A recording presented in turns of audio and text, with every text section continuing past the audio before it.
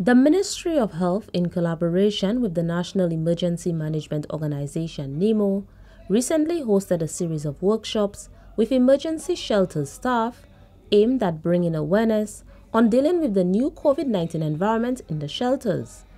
Deputy Director of NEMO, Maria Meda, says she is very pleased with the participation of the emergency shelter staff as it will build a capacity to respond effectively for the prevention and control of COVID-19 at those shelters. We have had these sessions in three other areas, in Choiseul, in Micoud, and at the Marigot Secondary School.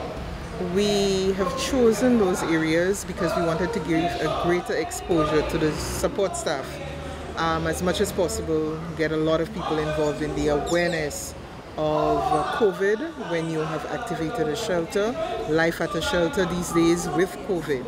MEDA also expressed hope that participants will gain a wealth of knowledge which will be used to impact positively the operations of the shelters during COVID 19.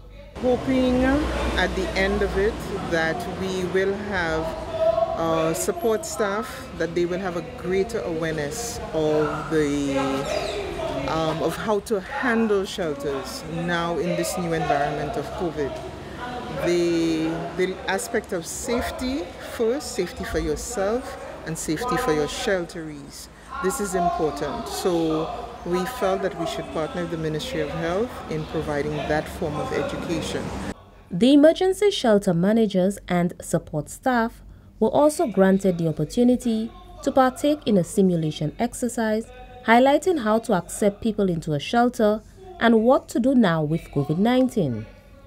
Reporting from the Communications Unit of the Ministry of Health and Wellness, I am Fenel Neptune.